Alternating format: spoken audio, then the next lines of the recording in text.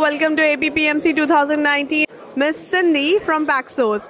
And Cindy is going to tell us what is her company about. And uh, let's start. Okay, hello, ma'am. Well, welcome to APPMC. Uh, thanks, Ms. Neil. Uh, thanks for having me on this interview.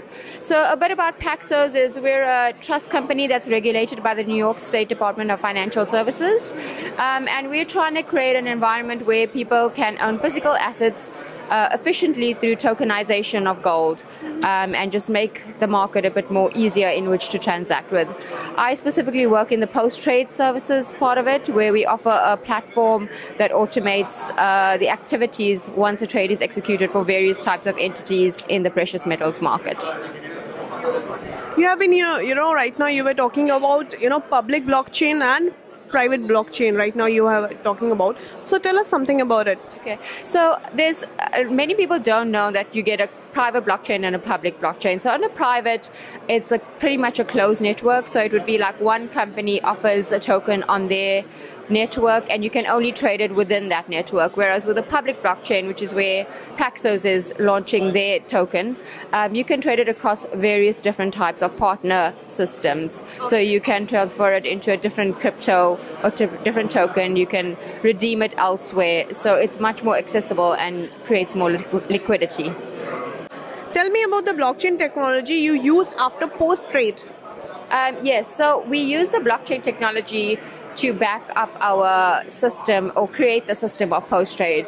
So it's just a more secure way and it's built a confirmations platform um, so our engineers, I'll be honest, I'm not very clued up in the engineering aspect of it, so they're the ones who built it. But um, it works very seamlessly. It's very secure. So data that comes in there is quite secure. You can trace it and track it quite easily.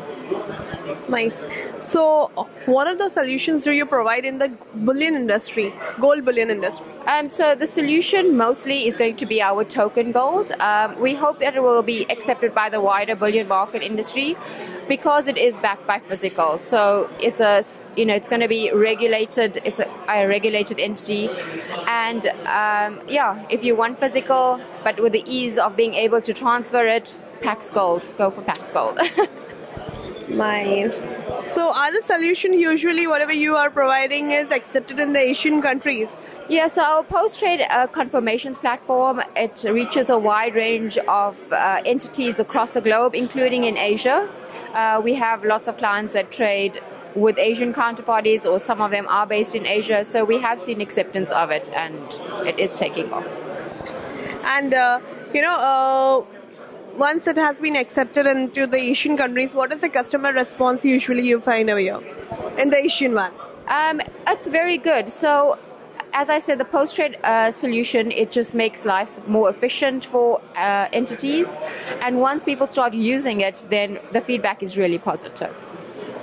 Anything else you would like to add? Something? Um, no, well, just thanks for the interview, and it's been a really great conference, a very diverse range of people and attendees, so it's been really great.